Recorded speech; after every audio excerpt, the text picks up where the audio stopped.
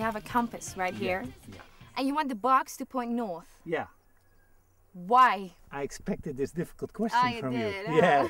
so I took something with me in order to explain it to you. All right. And that's an orange. An orange. You know. And this orange functions as the sun now. Okay. Now, where does the sun come up in the morning? That's in the east. And you can see that the opening is east west. So I allow the sun to enter all the light into the opening in order to give the trees as much light as possible. All right. Yeah, but then during the day, the sun is going like that. And here it's in the south. Okay. And now the sun makes automatically a shadow, and both plants are protected. So, on the two coolest parts of the day, we allow the sun to give more light into the opening, and on the hottest part of the day, we actually give a shadow. And now we take the box off, and we're going to make the hole in order to plant the two trees. How deep you want it to be? Yeah, like this. Tactics, getting out the fact sheets, left on statistics, blink, and you'll miss it. No, I don't mean to diss it. I'm sure it's worth your ticket, but I'm just sick. In order to prevent evaporation, we put this paperboard on the ground. Okay. You see, so you keep the soil wet. Pieter, what I don't understand is why are we planting two trees? it might happen that if you plant one tree, that after one year, this one tree, let's say a certain percentage, doesn't survive. So suppose you plant two small trees, and if one of those two dies, you still have one. You still have the other one. Okay. Exactly. Which means that you almost bring your result to 100%. If you look in the bottom, there's a small hole here. You see that?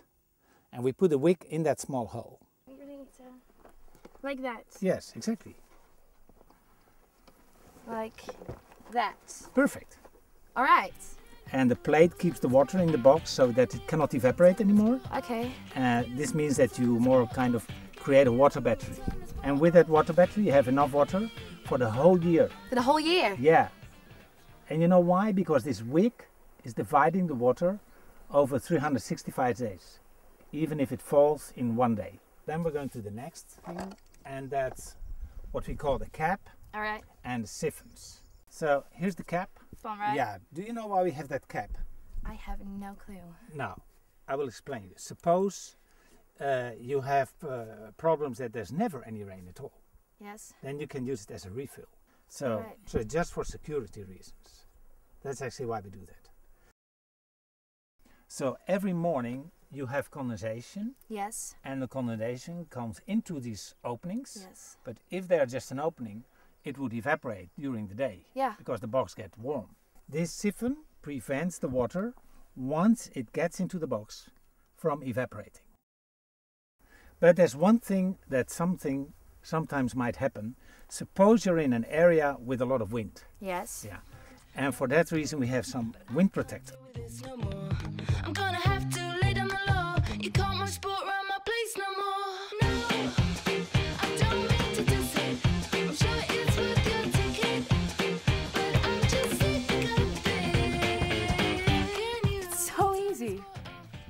Like that? Yeah.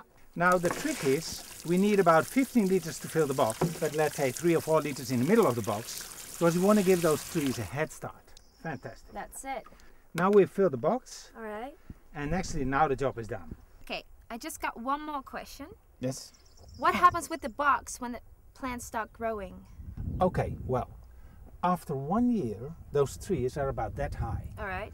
You know, when a tree is one meter, the roots are already two meters deep, which means this tree can live without this box. So what we actually do it is just lift the box so that the trees are there on their own. So Jade, it's very simple. I've explained everything. You see now that you can plant on rocks, in deserts, everywhere. I just planted my first trees. Yeah. Wow! It's, It's so so easy. easy.